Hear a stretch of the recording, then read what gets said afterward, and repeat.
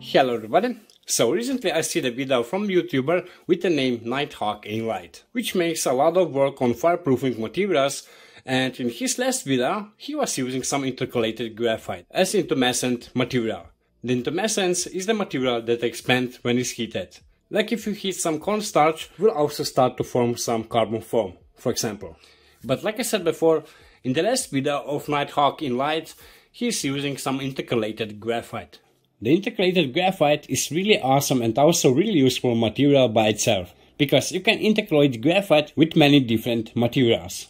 The basic intercalation process is done by using some strong acid and oxidizer, which the oxidizer will leave the edges of the graphite layers that the acid molecules can go between the layers of the graphite. But in the battery area, the intercalated graphite can be used like negative active material.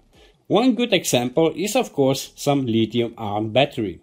The lithium ion battery uses graphite on the negative side of that cell. And when the lithium battery is charged, the lithium ions will intercalate into the layers of the graphite. But instead of lithium, you can also intercalate graphite with potassium or sodium ions for potassium or sodium ion battery.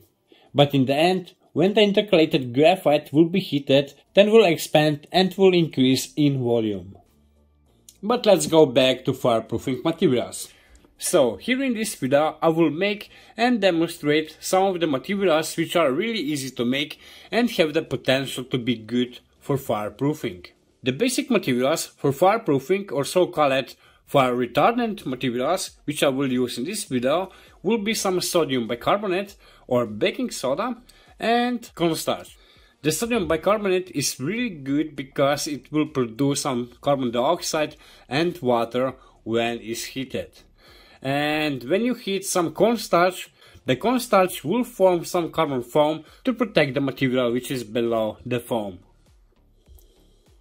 But instead of making some fireproofing paint out of this, I will go with a little bit different approach. Because I will soak some wool into sodium bicarbonate solution because of this comment. But I will also test some bricks which are made from plaster of Paris, cement, sodium bicarbonate and cornstarch. The first test I will make with the ceramic wool. The ceramic wool can already handle some high temperatures but for this test I soak this ceramic wool into the solution of sodium bicarbonate, which I prepare with 100 ml of water and 30 grams of sodium bicarbonate. And when the ceramic wool was fully soaked into bicarbonate solution, I let it dry. And that's it.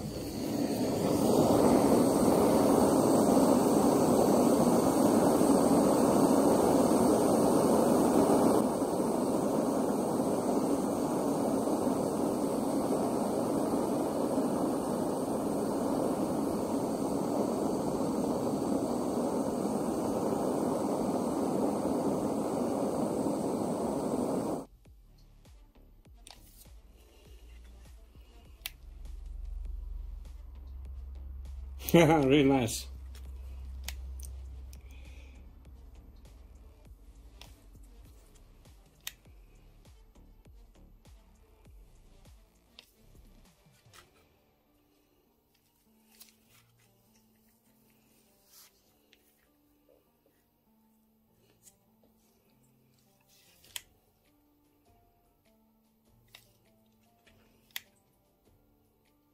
In the second test, I make some brick out from plaster for Paris, cement, sodium bicarbonate and a little bit of water glass or sodium silicate. And in the end I also add some glass fiber mesh that the brick will not crack.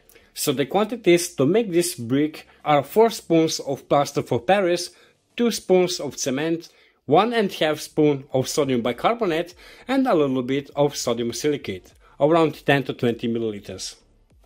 And you will get something like this. So the thickness of this one is one centimeter.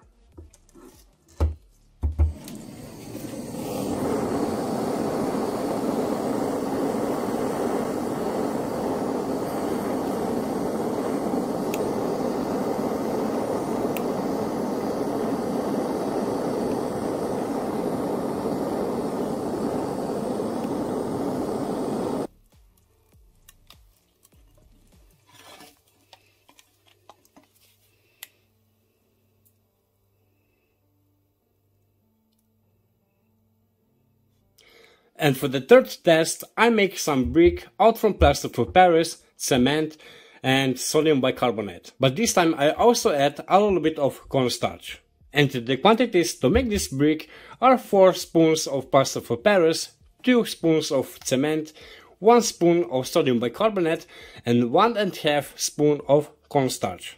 And in the end I also put some glass fiber mesh into the brick that the brick will not crack. And that's it.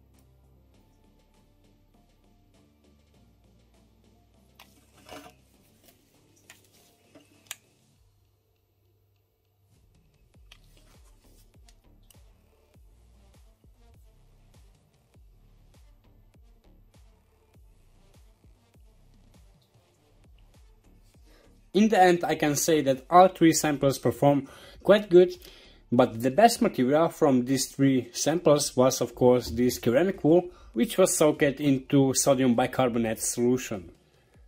So guys, for now this will be enough about the fireproofing materials, and yeah, we see us in the next video. Bye.